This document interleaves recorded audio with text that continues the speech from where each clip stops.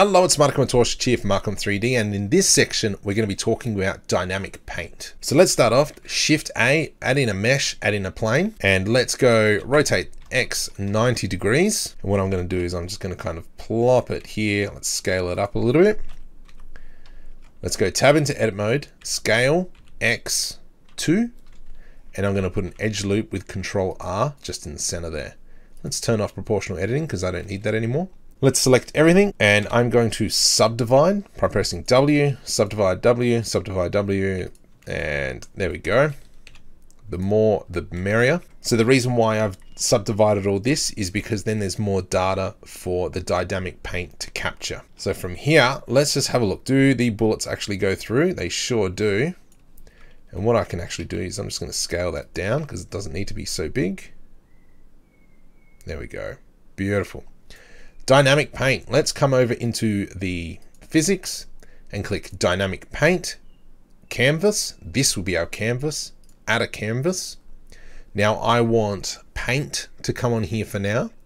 So our surface type is paint. Let's enable substepping. Um, bump that up three. It just means that the bake will take a little bit longer, but the data it captures should be a lot cleaner. We'll turn on anti-aliasing as well, just to make sure those edges are a lot cleaner. From here, let's scroll down to our output and press plus sign on the paint map layer and wet map layer. Let's select our plane, dynamic paint, canvas type will change to a brush, add a brush. Now the paint is not the mesh volume, it'll be our particle system. And then we need to come in and select our particle system. And so if we come back, we can see nothing happens. So let's come back into our plane. I'm just going to quickly create a new window and come into the shader editor. Let's create a new material. And from here, Shift A search, and we're going to go vertex color. And we're going to select our wet map.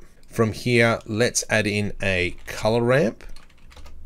Now we don't need to do this right now, but it's just to speed it up for later on and plug our color ramp into our base color. So now if we press play, still nothing. Let's go into our material. There we go. Now we see our wonderful bullets. So we've only got six, seven bullets. Does that mean the other ones do not actually go through? So it actually appears that some of them aren't being captured. Um, and that was all part of that speed that I was talking about. If we bump up the sub steps, let's try now. No, we got the same results. So let's come into the color ramp and we will change this around.